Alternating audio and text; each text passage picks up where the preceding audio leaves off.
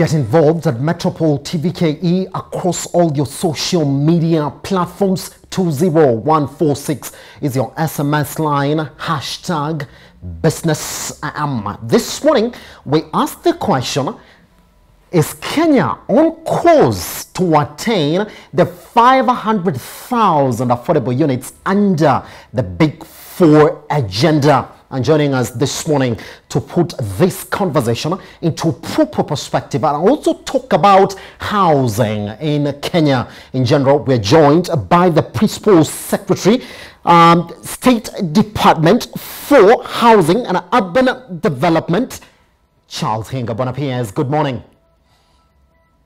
Uh, good morning and uh, good morning to your viewers. We're happy to have you around, sir. Let's begin with that question because that's exactly what everybody really wants to hear on where we are on that specific aspect for the 500,000 units. Are we on course to achieving it, sir? Um, yeah, thank you uh, for having me uh, this morning. And uh, the answer to that uh, question is that yes, we are uh, right on our way to achieving our targets. Uh, but even more importantly, uh, we what we have done is to put in measures um, and fix what I will call a systemic problem.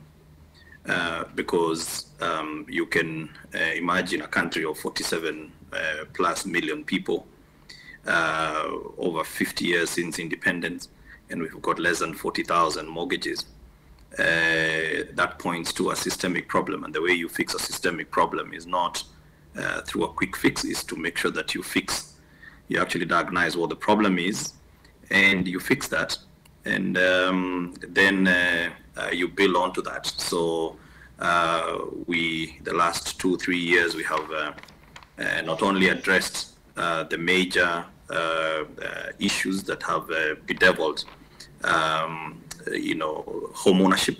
Uh, and we have seen that the market has turned and we are seeing very good results as we speak. Pretty much, Bwana PS. So let's talk about the reality really that is in the country, even as we chart this conversation for the 500,000 affordable units. Now, with the data that we have right now, if you look at the average price of what an apartment would cost any person really wanting to buy it by themselves, you have to go out by 11.58 million shillings. And if you see where we've come from in the early 2000s, we were talking about 5.2 million. Meaning that even if we're talking about affordability, then data also indicates that you've got to talk about addressing it to reduce it to about 2 million shillings. That's exactly what's going to be affordable to a majority of Kenyans in the country. Is there a possibility under the plan that you have to achieve the affordable housing in the country?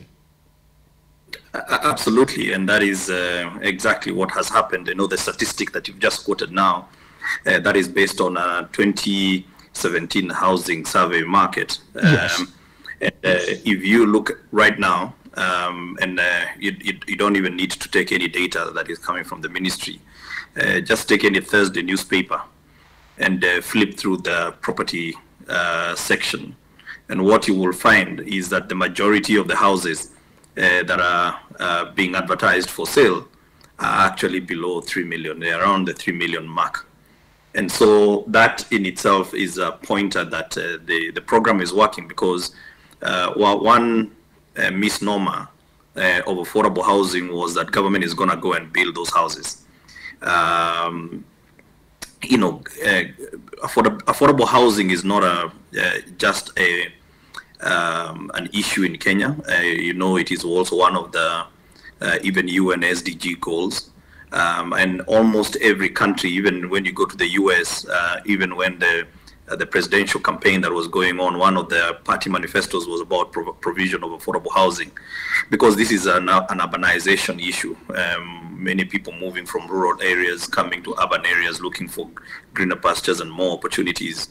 Uh, but when they get there, there is no uh, housing that is commensurate to their incomes, and uh, because especially when people are starting, um, you know, the incomes are not that high. So, so you find that um, uh, what we define as affordable is uh, that you should not be able to, you should not be spending more than 30% of your disposable income. And so if you take that uh, majority of Kenyans, uh, especially the, the uh, formerly employed, earn less than 50,000 shillings, uh, so you, if you work out your numbers, you'll, you'll come back to the number, the figure that you just cited that they can only afford uh, to rent or live, uh, own a home that is uh, less than 2 million or, or, 3 million and below. And so that is one of the major achievements that we have done. And uh, to do that, we have had to tackle um, a lot of issues that have caused uh, the cost of housing in Kenya to be very high.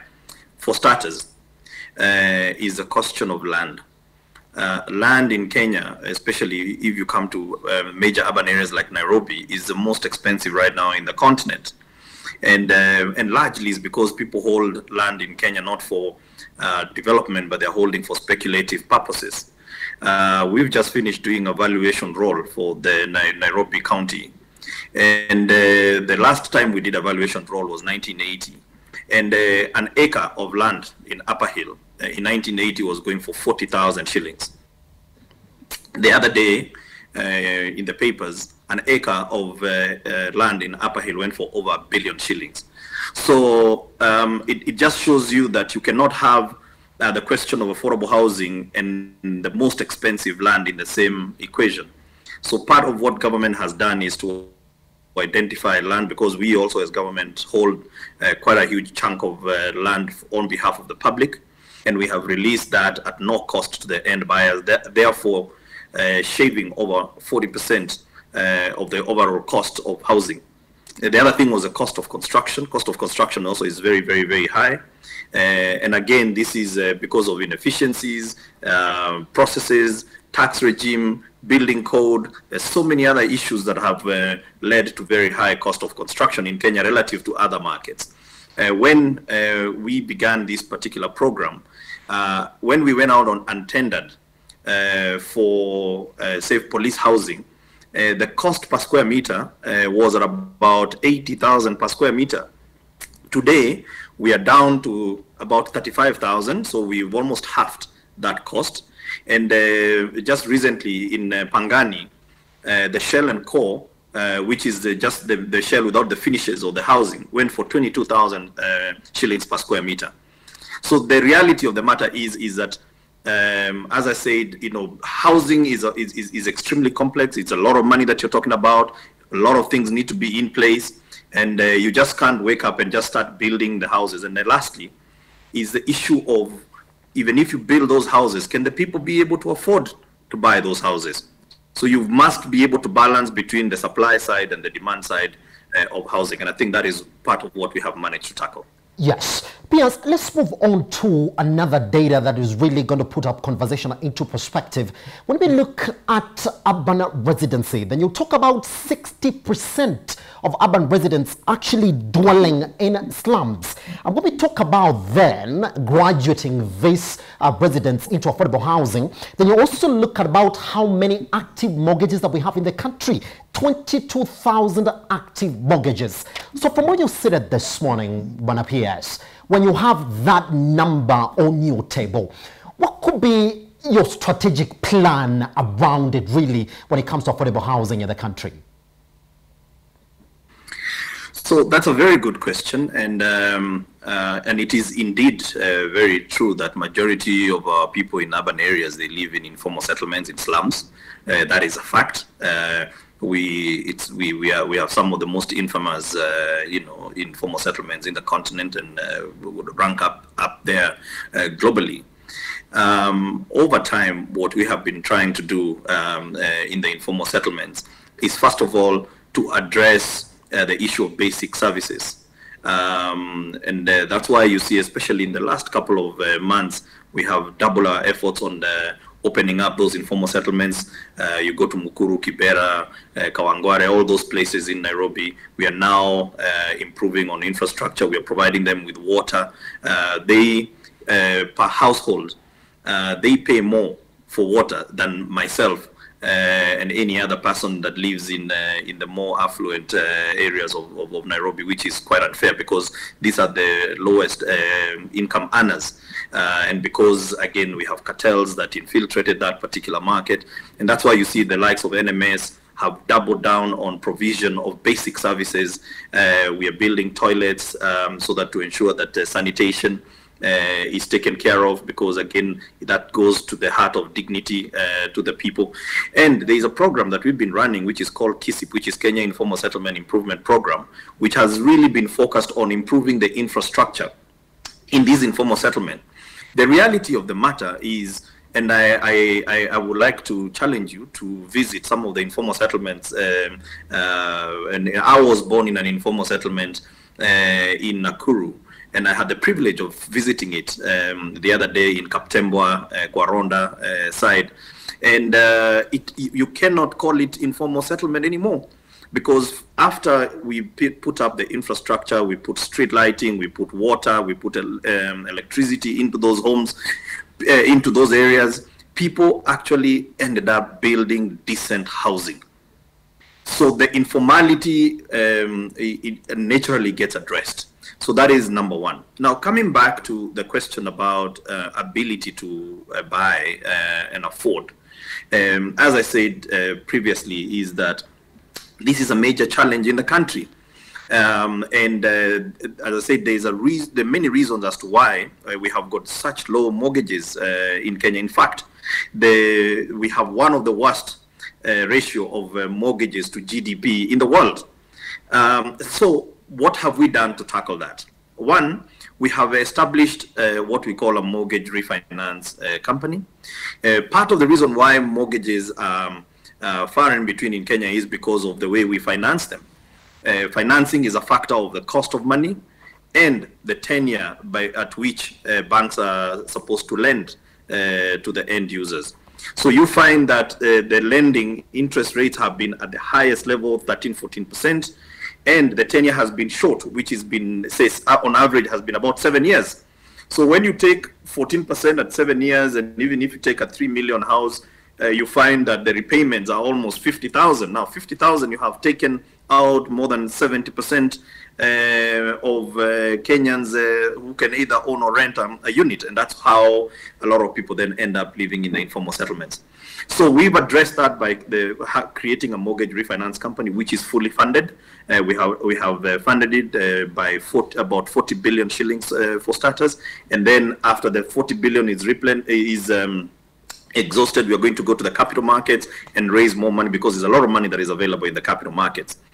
What the refinance company does is that it it it, it on lends money to the financial institutions because the most important thing uh, that we must bear in mind is that whatever solution you must come up with must be a solution that is sustainable and last for many years. Quick fixes uh, give us a good feel, but then we quickly, um, you know, get sucked back into the systemic problem.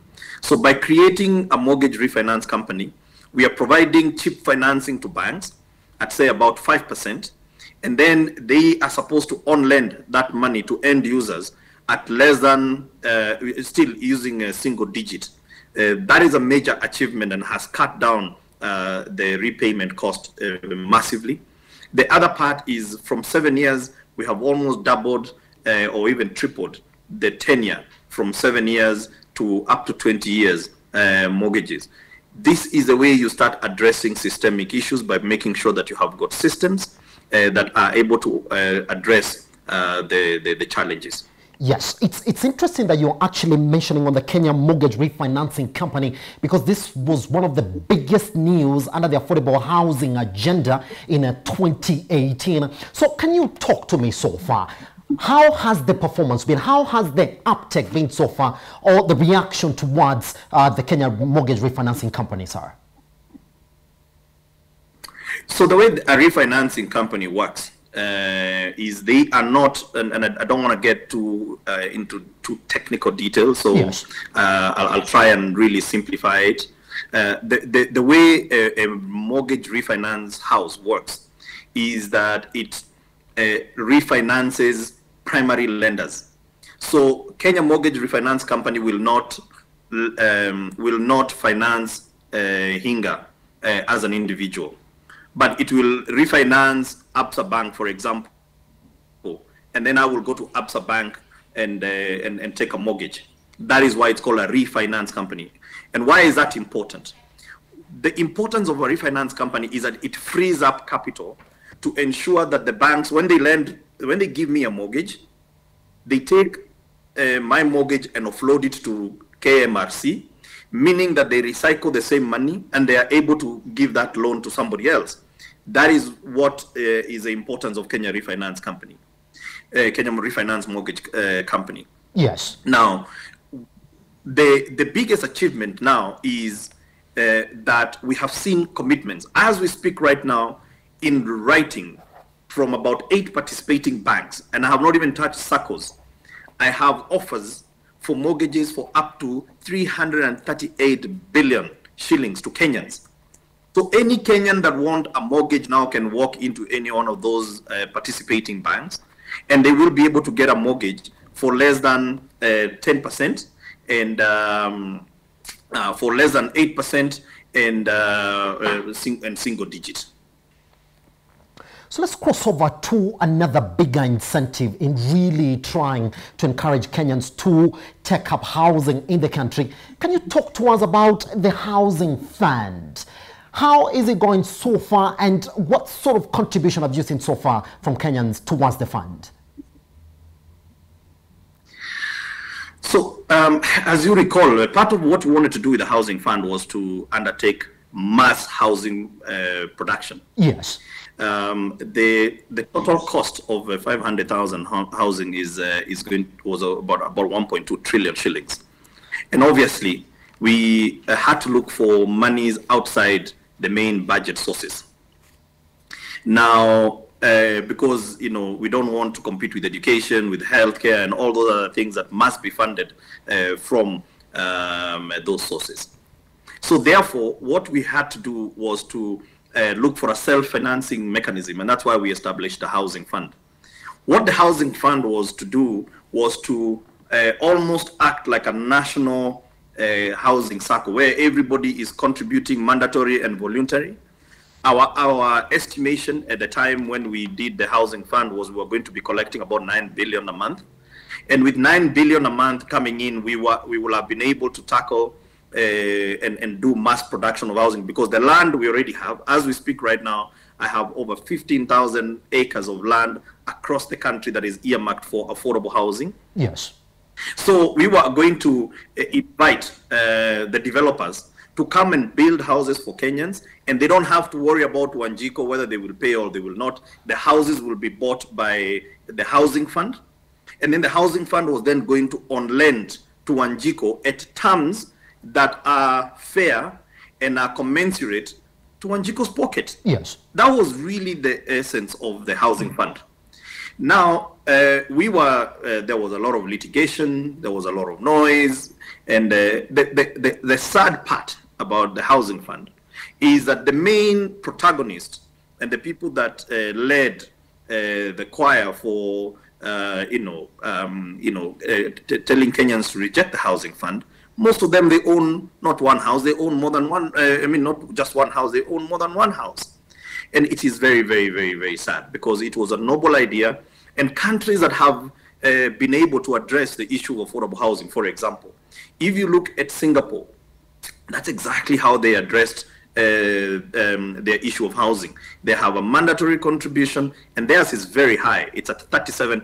37% of your payslip is deducted, uh, 23 out of that 37% goes towards what is called a general account where you can be able to go and borrow and build a house. And you pay at rates that are commensurate to your pocket. You go to mexico brazil nigeria um, all other places that's what that's how they've established that. But uh, you know we're a litigious society and uh, even though the courts had not uh, pronounced themselves uh, we found ourselves just stuck uh, going to court, answering these, and in the papers and in the news, it was the main dominant issue. And so His Excellency, the President, in his wisdom, said, look, um, let's look for an alternative, an alternative uh, um, way. Uh, of course, it is going to slow down the pace at which we were going to uh, do the mass production of housing. And so we had to re-strategize. And now our strategy is let's support the private sector through tax incentives, through making land available, through helping um, uh, end user financing. And, uh, you know, obviously that was going to take a little bit of time because I'm not in control of the developer. Uh, but with the right incentives, and we have seen that the market has turned. Uh, now, currently the, market, the housing fund is voluntary. Uh, we have less than a billion shillings in there. Uh, but the interesting bit is that we have got on Boma Yangu, we have got over 320,000 Kenyans who are registered. We have about 30,000 of them who are contributing uh, something, whether it is um, 1,000 or 200 shillings uh, per month or per day. Uh, we do have that. And we believe that as, as soon as all these supplies start coming together, we will see an uptake in the, in the, on the voluntary side. Yes.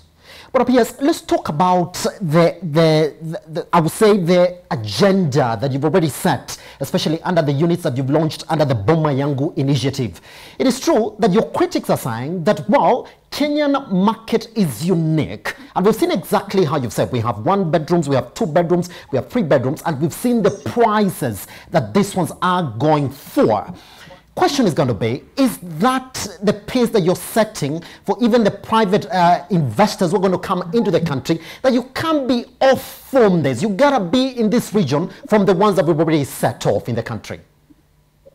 Uh, absolutely. And um, if you go to Boma Yangu, we do have uh, uh, a lot of private uh, listing, private yes. development listings yes. Uh, currently. And I can cite a few. And in fact, yesterday there was another one that was just presented to my office and the interesting part is while we have put a cap uh, at, um, uh, on government land to be 50,000 per square meter and non-government land to be 60,000 per square meter. So in other words, that is the cost per square meter. So if you have a, a, a, a 40 uh, square meter unit, at 50,000, you should not pay more than 2 million. That is essentially what it means. Yes. Uh, what uh, was presented yesterday is actually at 46,000 per square meter by a private developer on private land. So the, the, the benchmark has been set. And that is why today, you know, just to simplify it for the viewers, is that when you take any newspaper um, that is where there is uh, housing that are being advertised, you're seeing the average cost of the housing has gone down. Yes. And that is a fact. We are seeing it because people when they apply for approvals they go to national construction authority they go to counties and we are seeing increasingly that the number of houses and also to the lands uh, uh, uh, ministry uh, where they are registering for uh, stamp duties we are seeing that the number of houses in this band have tremendously increased. And that is why we are working on uh, uh, you know these um, uh, these statistics, which we we are hoping that we are going to be able to produce them uh, in uh, not uh, so long a time. People say that for us to achieve this 500,000, that's a big feat that we have to, I would say, radicalize and wait or look for a better and faster evolution in the way in which that we view real estate sector in our country. Case in point, are we moving away from a case where even counties have their own modalities of land classification? Are we now harmonizing it where if I want to develop in county ABCD, it's the same, same sort of harmonization that I'm going to find in Nairobi or elsewhere, sir? That's a very good uh, point that you make and question. Uh, and, and let me say that uh, the real magic uh, of uh, this affordable housing is actually what is happening at the county levels. Yes. And and again, as I said, and um, uh, it's very very very important that you forget about everything I've said is that this is a process, um, and and it's a it's a systemic problem. Now, one of the things that we have managed to work with the counties because uh, remember housing is a concurrent function, so it is both at national and at county level. Yes. And um, at the county levels, we have over over uh, uh, close to 40 counties that have uh, signed an MOU with us, uh, national government, uh, making a commitment that they are going to provide housing at that level. So the first thing that the counties had to do was in their CIDP county investment development plans is and, and their spatial development plans is to identify where those houses are going to be built. Planning is very important One of the reasons why we have so many problems, traffic problems, slums, and so on and so forth, is because this word planning, we threw it a long time ago. And it, it's, it's understandable uh, because um, the planning uh, aspect has been driven by politicians. But politicians have a defined term. In, in essence, what you're saying is that when you appoint, you elect me uh, to get into an office, uh, I am looking at my first five terms and I'm trying to do so many things within five, uh, five years. So what, what is the first thing that you throw out of the window? Is planning because planning takes time.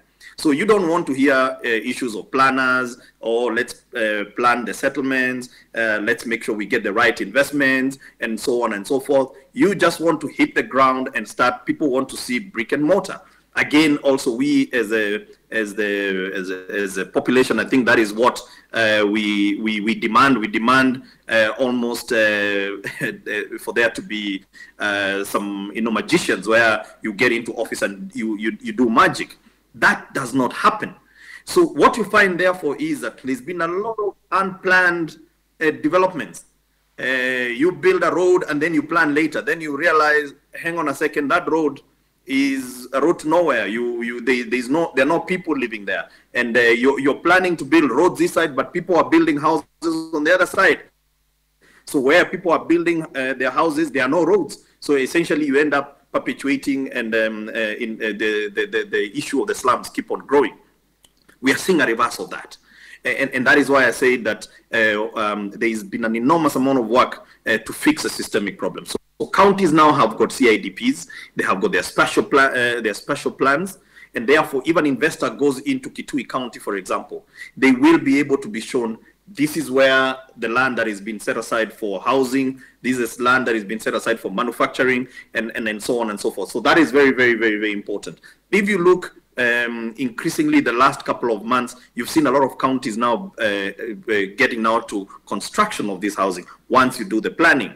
Uh, Kitui is a case in time. We have Kisumu, we have Murang'a, and so on and so forth. So we got a lot of counties now uh, that are starting to uh, produce uh, this affordable housing.